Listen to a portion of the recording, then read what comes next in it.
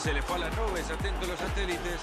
Por ser amistosa Mario, el resultado poco importa.